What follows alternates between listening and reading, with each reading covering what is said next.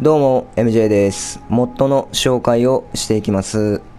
で、ご紹介するモッドはですね、ハニーブリーズプレイヤーホームっていうモッドになります。こちらのモッドはですね、新たにプレイヤーホームが追加されるモッドとなっております。追加されますプレイヤーホームは、制作者さんの手によって作成されました建物となっておりまして、内装などもとても作り込まれており、各種作業台なども設置されております。ただですね、プレイヤーホームとなりますので、建築などのクラフトはできないようになっておりますので、ご注意ください。あとはですね、ロード順になるんですが、新たにプレイヤーホームが追加されるモッドとなっておりますので、自分の場合はですね、解体モッドと UCO ベースゲームモッドの間にロード順の方を置いてあります。それではですね、簡単にですが、どのようなプレイヤーホームが追加されたかご紹介の方をしていきます。で、新たに追加されますプレイヤーホームの場所なんですが、マップで言いますと、アパナシーファームのすぐ近くとなります。モッドを導入した際は、ロケーションの記載の方がありませんが、近くに行っていただければ、ロケーションの方が追加されるようになっておりまして、ファストトラベルの方も可能となります。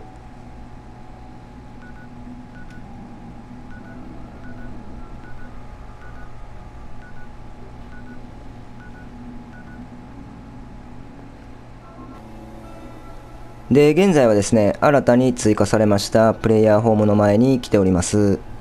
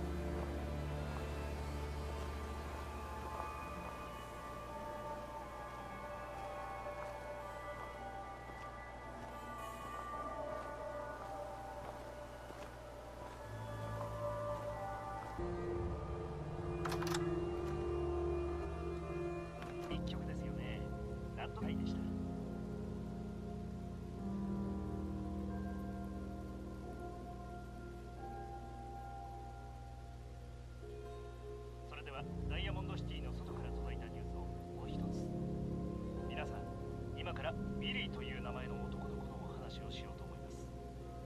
さて、このビリー君、この連邦で暮らしているのですが、他のみんなと同じように人生の荒波に飲まれてきました。そして気づけば彼は家族から離れ離れになってしまったところがそこで彼はボルト居住者と意図せず出会ったのでした喜ばしいことにビリーはボルト居住者の助けにより無事家族と再会することができたのでしたわるお話が聞けることは多くありません。でも今回ので皆さんの顔に笑顔が浮かべばと思います僕は間違いなく浮かびました。それでは皆さんダイヤルはダイヤモンドシティラジオ。それではワンモアトゥモロ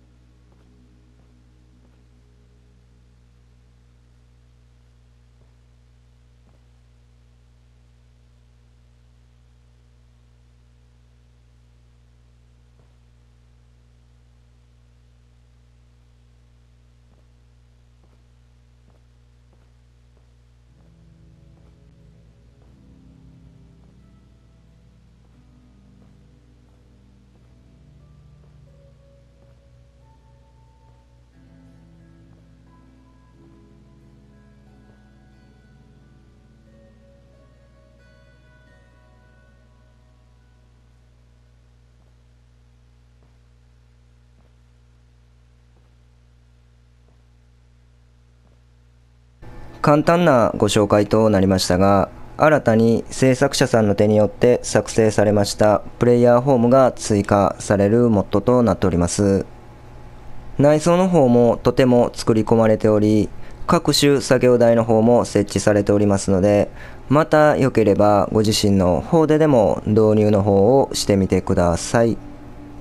それではですね、今回はハニーブリーズプレイヤーホームっていうモッドの紹介でした。